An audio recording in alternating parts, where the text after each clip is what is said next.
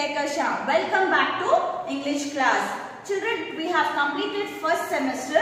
Now, let us begin second semester. So, open your English textbook Sunshine Reader, page number 6. Unit 1, My Robo's Misbehaving.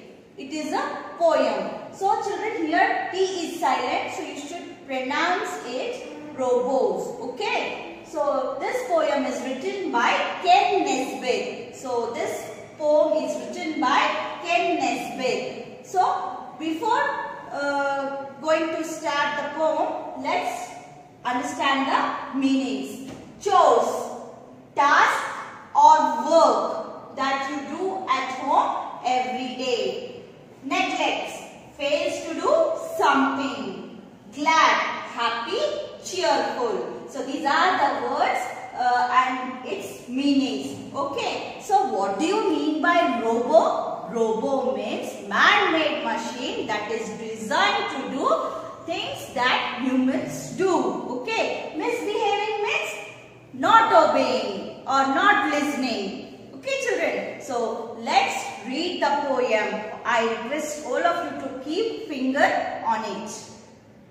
My robo's misbehaving. My robo's misbehaving. It won't do as I say. It will not dust the furniture or put my toys away. My robot never helps me with homework or my chores. It doesn't do my laundry and neglects to clean my floors. It claims it cannot cook dinner. It never makes my bed. No matter what I ask of it, it simply shakes its head. My robot must be broken. I will need to get another. Until that day, I have to say, I am glad I have my mother. So, uh, I think you all have read this poem. Uh, now, let us understand the poem line by line. So children, let's understand the poem My Robo's Misbehaving. Robo means a man-made machine that is designed to do human do. Okay. Uh, what is misbehaving? Not obeying, not listening, not doing the work properly. Okay. So in this poem, the poet is a child. He is describing that his robo is misbehaving. His his robo is not obeying him. Whenever the child tell him to do any work, the robo won't do. Let's see how this robo is misbehaving in this poem. Okay. My robo's misbehaving. It won't do as I say. So what the child is telling? Uh, my robo is misbehaving, not obeying to me. Whatever I tell him, it won't do. Okay. It will not dust the furniture. So when the when the child tell him tell him to dust the furniture, the robo won't do or put my toys away. So whenever the child tells the robo to put toys at their proper place or keep the toys at their proper place, the robo won't do. My robot, my robo never helps me with homework. So uh, the child's robo never helps the child in his homework. Okay. Uh, whenever the child gets homework, the robo never helps him. Or my chores. So the robo never helps in my chores. Chores means task or work that you do at home every day.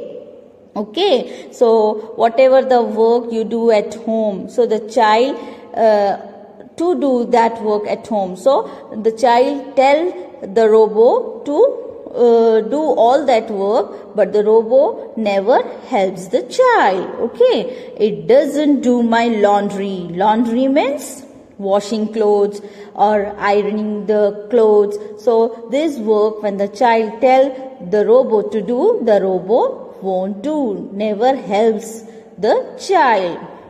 And neglects to clean my floors. Neglects means uh, careless fails to do something okay? So, children the child tell that to clean the floor the robo won't do doesn't do okay? It won't clean the floor. It claims it cannot cook dinner. So the child robot tells that it cannot cook the dinner. Okay. So when the child tell him to cook the dinner, the robot tells that I cannot cook dinner. It never makes my bed. So it, it tells that I cannot make bed. It, it never makes bed.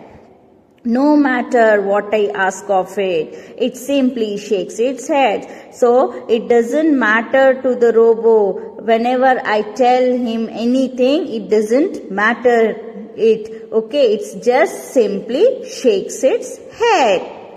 My robo must be broken. So what the child is telling, my robo must be broken. Let this robo be broken because this robo is misbehaving. It is not at all listening to me, not obeying to me. Whatever the work I tell uh, the robo, it won't do. It never helps me. So let this robo be broken. I will get another one. So if this robo get broke means I will get another one. I can bring new one which work for me, which works for me. Okay, the child is telling Okay, so what the child is telling? Let this robo be broken. I should, I will get another one. Okay, I can bring another one which works for me. Okay, until that day I have to say. So until that day I have to say what the child is telling. Till that till I get new one till I get uh, new robo I have to say I am glad I have my mother. I am glad. Glad means happy or cheerful. I am happy I am cheerful because I have my mother. If this robo won't do any work but my mother is there always to do my work so I am happy uh, if this robo won't do anything for me but my mother is there always to do my work. So I am happy uh, and I am cheerful that my mother is there always with me. The poet tells this. I hope you all understand the poem and enjoy it. Okay, so let me ask you some questions. What is a robot? Robo means man-made machine that is designed to do things that humans do. What does the poet says that the robot is misbehaving? It, it is not obeying the poet. The poet is a man. What do you think he imagines himself to be in the poem? Uh, a child. So, uh, the poet is a child in the poem. Then why is the robot not doing anything? Because it might be broken. That's why the robot is not doing anything. Who is going to do the robo's work? The mother of the child in the poem is going to do the robo's work. I think you all understood the question and answer too. So children recite the poem okay and understand it. Thank you.